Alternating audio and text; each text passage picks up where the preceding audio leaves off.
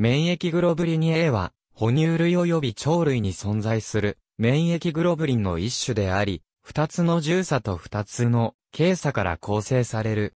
胃が分子は二つの抗原結合部位を有しているが、気道や腸管などの外分泌液中では、J サと呼ばれるポリペプチドを介して結合することにより、二両体を形成して存在しているため4箇所の抗原結合部位を持つ。二両体以外は、粘膜免疫の主役であり、消化管や呼吸器における免疫機構の最前線として機能している。イガをコードする遺伝子には、イガ1とイガ2の2種類が存在するが、結成中に存在する単量体あるいは2両体イガ2は、イガ1が約90%と圧倒的に多い。その一方で、分泌型イガでは、イガ2の割合が30から50%と、結成型に比べて多くなっている。全イガ中における結成イガの占める割合は10から20%程度であり、イガのほとんどは二両体として存在している。また、分泌型イガは、初乳中に含有され、新生児の消化管を細菌、ウイルス感染から守る働きを有している。母子免疫には、免疫グロブリン G も関与していることが知られているが、こちらは胎盤を介して胎児に移行する。人における、イガの酸性量は、各種免疫グロブリンの中でもイグに次いで2番目に多い。分子量16万。イガ分泌型イガ。J 差を介して2分子のイグが結合し、それに対して、さらに分泌成分が結合している。1、10差2、K 差3、J 差4、SC 粘膜は、常時抗原や微生物にさらされており、これらから粘膜面を防御する。局所免疫機構が存在する。これを、粘膜免疫防御系と呼び、分泌型イガが、その一部を構成している。代表的なモルトとして、消化管免疫防御系、気道免疫防御系及び、鼻腔免疫防御系が知られている。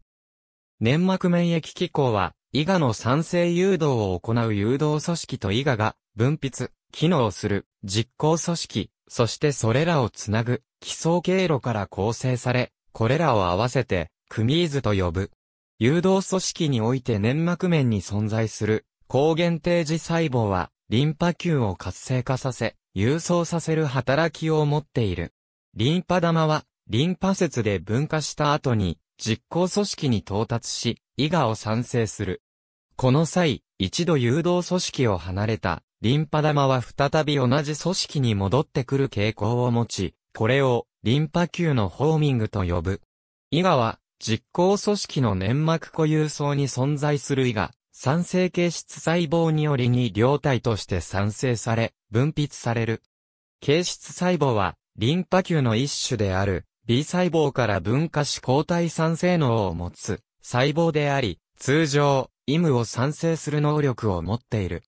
この細胞が、イガ酸性能を獲得するためには、サイトカインの刺激を受ける必要があり、B 細胞がトランスフォーミング増殖因子ベータやインターロイキンマイナス -4 の作用を受けることにより、免疫グロブリンのクラススイッチが誘導される。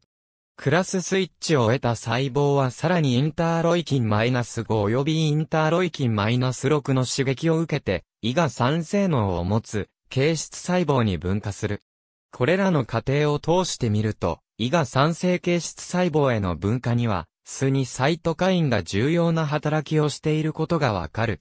胃がは、同様に、形質細胞により産生される、J サと結合し二両体として分泌される。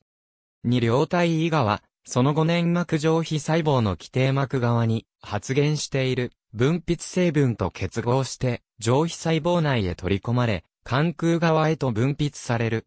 分泌成分は、イガを、タンパク質分解酵素による分解から保護する役割を有している。イガはこれらの形を介して、粘膜面への微生物の侵入を防ぎ、生体防御機構において重要な役割を果たしている。近年、イガに対する FC 受容体である FC、アルファ R の遺伝子がクローニングされた。結成中イガは抗酸球やマクロファージ等の細胞表面に存在する FC、アルファ R を介して細胞活性化を引き起こし、食作用や抗体依存性細胞障害、炎症メディエータの有利促進などの機構を介して、免疫反応に関与していることが示唆されている。ありがとうございます。